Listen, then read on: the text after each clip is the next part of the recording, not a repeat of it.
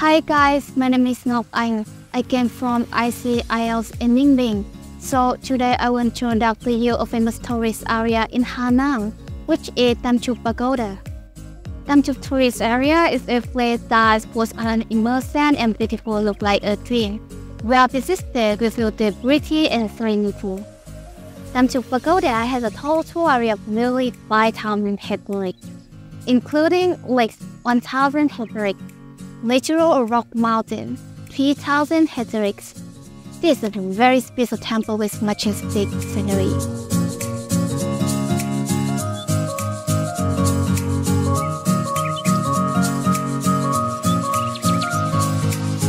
The temple was built by many skilled craftsmen of Buddhism, Hinduism, Islam, and Christianity.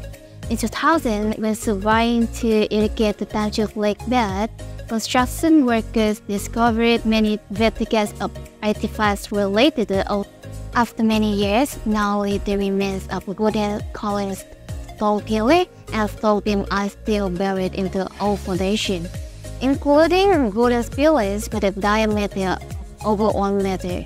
Stone beams, very rich stone pillars, that we're gonna understand how our forefathers built the pagoda with the village side.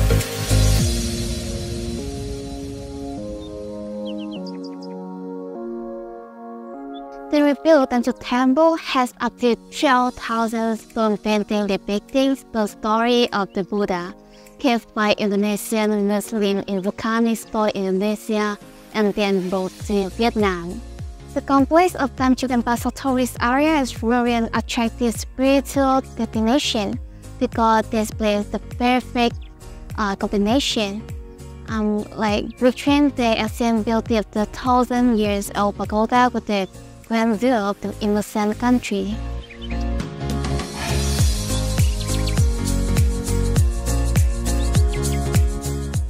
Tam Chúc Pagoda is 30 kilometers from Bái Đính Pagoda and 1.5 from Berkshire Pagoda, forming a complex of golden triangle of spiritual meet the entertainment and entertainment needs of domestic and foreign tourists.